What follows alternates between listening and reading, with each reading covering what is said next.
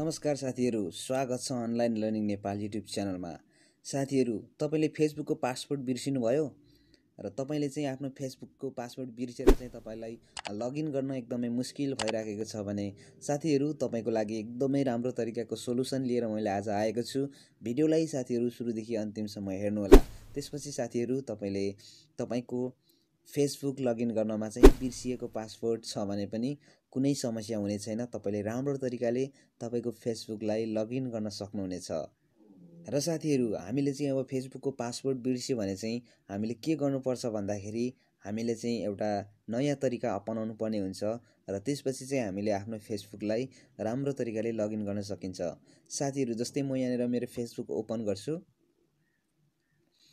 त्यसपछि चाहिँ यहाँनिर मेरो अलरेडी फेसबुक लगइन छ। अलरेडी फेसबुक लगइन लगइन भएको कारणले चाहिँ यहाँनिर के हुन्छ भन्दाखेरि हामीले कुनै इमेल आइडी र पासवर्ड चाहिँ हामीले हान्नु पर्दैन। अब त्यसको लागि के गर्नुपर्छ भन्दाखेरि जस्तो म यहाँनिर चाहिँ यसलाई लगआउट गर्छु मेरो फेसबुकलाई ओके।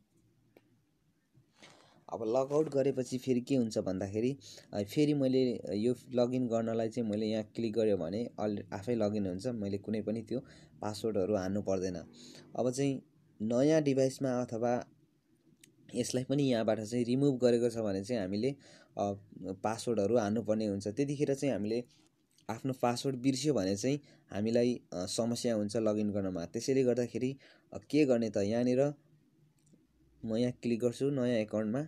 र त्यसपछि तपाईँले यहाँनिर देख्न सक्नुहुन्छ फोन अर इमेल त्यसपछि पासवर्ड। हामीले चाहिँ यसरी फेसबुक लगइन गर्ने गर्छौँ नर्मल्ली रूपमा होइन?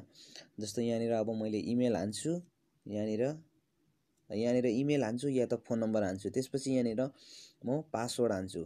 अब पासवर्ड हानेपछि चाहिँ यहाँनिर के हुन्छ भन्दाखेरि पासवर्ड मिलेन भने बिर्स्यो भने हाम्रो फेसबुक लगइन हुँदैन। त्यसैले गर्दाखेरि हामीले चाहिँ समस्या भइराखेको हुन्छ।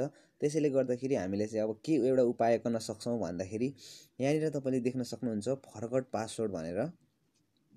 र यो फरगट पासवर्डमा चाहिँ हामीले के गर्नुपर्छ भन्दाखेरि क्लिक गर्नुपर्छ। र यहाँ क्लिक गरिसकेपछि अब तपाईँले चाहिँ यहाँनिर एलाउ भन्ने एउटा अप्सन देख्न सक्नुहुन्छ। यो एलाउमा चाहिँ क्लिक गर्नुपर्ने हुन्छ। यो एलाउमा क्लिक गर्नुभन्दा पहिला तपाईँले यहाँ राम्रो तरिकाले पढ्नु होला। Allow Facebook the following permission भनेर तपाईँले चाहिँ यहाँनिर पर्मिसन दिनुपर्ने हुन्छ। र त्यसपछि चाहिँ तपाईँले यहाँनिर एलाउ गर्नुमा क्लिक गर्नु होला। र यसमा पनि तपाईँले एलाउ गर्नु होला। ओके? र यसलाई पनि एलाउ गर्नु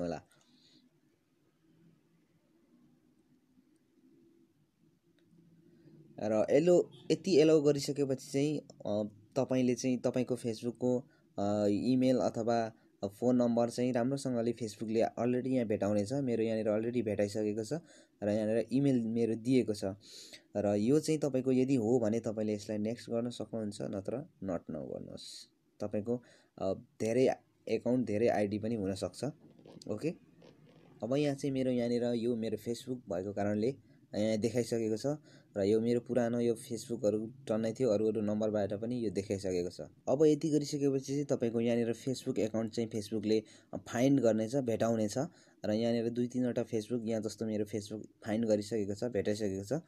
र भेटिसकेपछि अब तपाईँले चाहिँ यहाँनिर के गर्नुपर्ने हुन्छ भन्दाखेरि तपाईँले आफ्नो इमेल लगाउनु होला।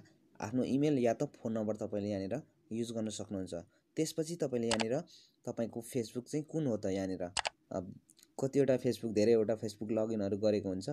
त्यो सबै यहाँ भेटाउनेछ कुन चाहिँ फेसबुक हो तपाईँको? त्यसमा तपाईँले यहाँ चुज गर्नुपर्ने हुन्छ। ओके जस्तै अब म यहाँनिर फोन नम्बर लगाउँछु।